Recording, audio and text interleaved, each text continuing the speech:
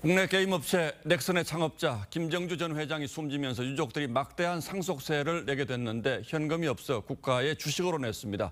그런데 그 양이 엄청나다 보니 정부가 넥슨의 2대 주주가 되는 상황이 발생했고 이걸 팔아서 세수 확보를 해야 하는 정부로서도 난감하게 됐습니다. 더 자세한 사정은 송병철 기자가 취재했습니다.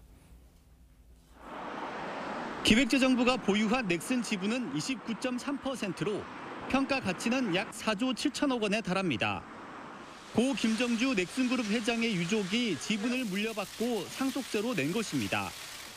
납세자가 현금화하기 어려운 그러한 상황을 배려해서 물납을 통해서 세금을 확보하는 제도다 이렇게 볼 수가 있습니다. 넥슨의 2대 주주가 된 기재부는 지분의 매각을 결정했습니다. 올해 4월까지 세수가 33조 9천억 원이 감소했고 연간으로도 세수 부족이 유력하기 때문입니다. 앞서 2021년에도 삼성 일가의 상속세가 세수에 도움을 준 바 있습니다. 정부로서는 부족한 세수를 채울 수단이 생긴 겁니다. 법인들의 영업 실적이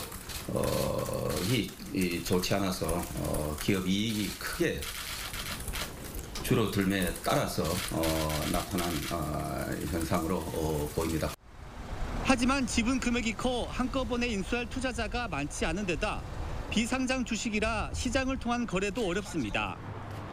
그래서 분할 매각하는 방안이 유력한데 연내에 전부 소화하지 못할 가능성도 있습니다.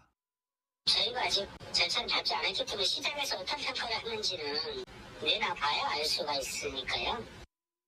마땅한 투자자를 찾지 못할 경우 평가 가치보다 낮게 매각할 우려도 남은 상황입니다. TV조선 송병철입니다.